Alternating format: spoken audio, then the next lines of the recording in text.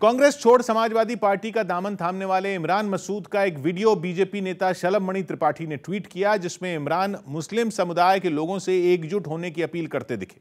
सत्रह सेकंड का यह वीडियो कब का है और किस जगह का है, इसका पता नहीं चल पाया, लेकिन इस वीडियो के बहाने बीजेपी ने इमरान मसूद को निशाने पर ले लिया। दूसरों के पैर पकड़वा रहे तुम मुसलमान मुसलमान, सीधे जाओ, मेरे मेरे पे क्यों पैर पकड़वा रहे सारे मेरे पकड़ते फिरेंगे। पैर पकड़वा